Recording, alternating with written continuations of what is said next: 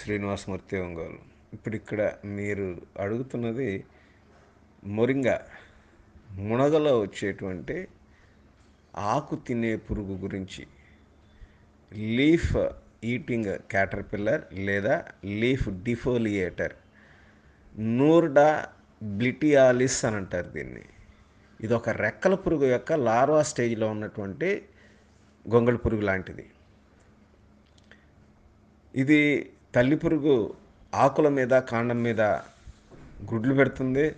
ఆ గుడ్ల నుంచి వచ్చినటువంటి లార్వాలు ఆకులని గోక్కొని ఆకుల మీద ఉన్నటువంటి పత్రహరితాన్ని గోక్కొని తిని కేవలం ఒక స్కెలిటన్ మాదిరిగా ఆకుని ఒక పేపర్ లైక్ స్ట్రక్చర్ లాగా వదిలేస్తుంది.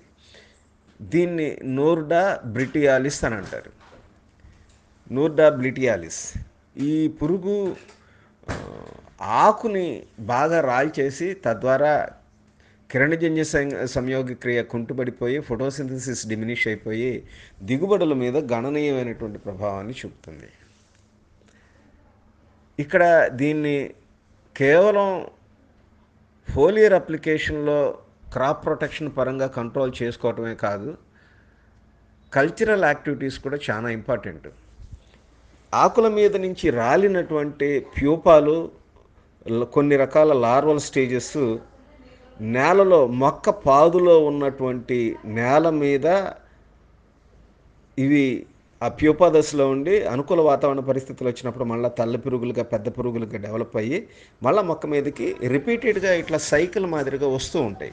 అందువల్ల ఇక్కడ మనం నేలలో మొక్క పాదులో ఉన్నటువంటి ఈ నేలలో ఉన్నటువంటి వాటిని కంట్రోల్ చేసుకుంటూ ఫోలియర్ అప్లికేషన్లో దీన్ని ఉన్నటువంటి మొక్క మీద ఉన్నటువంటి వాటిని కూడా కంట్రోల్ చేసుకోవాలి. ఈ పరంగా చూసినప్పుడు మనం ప్రకృతి సేంద్రియ వ్యవసాయ విధానాల్లో బ్యాసిల్లస్ తురింజెనిసిస్ ఫైవ్ ఎంఎల్ లేదా five grams per litre water Beauveria bassiana five ML లేదా five grams per litre water వ్యాధి సోకకు ముందు పీరియాడికల్గా వారానికి ఒకసారి స్ప్రే చేసుకుంటూ ఉంటే ఇబ్బంది రాకుండా ఉంటుంది. వ్యాధి సోకిన తర్వాత మూడు రోజులకు ఒకసారి ఇది కంట్రోల్ అయ్యేంత వరకు స్ప్రే చేసుకొని ఆ తదుపరి వారానికి ఒకసారి పది రోజులకు ఒకసారి స్ప్రే చేసుకుంటూ ఉంటే కనుక దీన్ని అదుపులో ఉంచడానికి ఆస్కారం ఉంది. అట్లాగే ఖచ్చితంగా మనం నేలలో పదును ఉన్నప్పుడు వేపపిండి పశువుల ఎరువు లాంటి వాటిల్లో కల్చర్ చేసినటువంటి బవేరియా బ్యాసియానా బ్యాసిలస్ థొరింజెనిసిస్ లేదా ఎంటమోపాథజెనిక్ నెమటోడ్స్ వీటిని మొక్క పాదులో పదునున్నప్పుడు కనుక మనం వెదజల్లి పైన మట్టి కప్పి నీరిస్తే ఆ నేలలో ఉన్నటువంటి వీటి ప్యూపాలు లార్వల్ స్టేజ్లో ఉన్నటువంటి వాటిని కూడా నూర్డా బ్లిటియాలిస్ అనేటువంటి ఈ రెక్కల పురుగుకి చెందినటువంటి క్యాటర్పిల్లర్స్ని సమర్థవంతంగా అదుపు చేయడానికి ఆస్కారం ఉంటుంది. దీంతోపాటు ఇంకొక కల్చరల్ యాక్టివిటీ వ్యాధి సోకినటువంటి మొక్క భాగాలని జాగ్రత్తగా కత్తిరించి దూరంగా తీసుకుని వెళ్ళి తగలబెడితే కనుక వీటిని తరువాత తరాలని మనం సమర్థవంతంగా అరికట్టుకుంటానికి ఆస్కారం ఉంటుంది.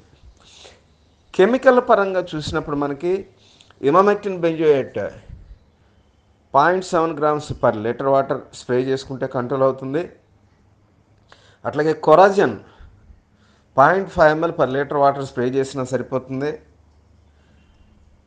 వీటితో పాటుగా నేలలో క్లోరిపైర్పాస్ టెంజీ గుళికలు కానీ లేదా కార్ దొరికితే కనుక కార్బోఫ్యూరాన్ గ్రాన్యుల్స్ని కానీ నేలలో వేపపిండితో కలిపి వేసుకుంటే కనుక పదును ఉన్నప్పుడు నేలలో ఉన్నటువంటి వీటి లార్వాలు ప్యూపాలు కూడా కంట్రోల్ చేయబడతాయి.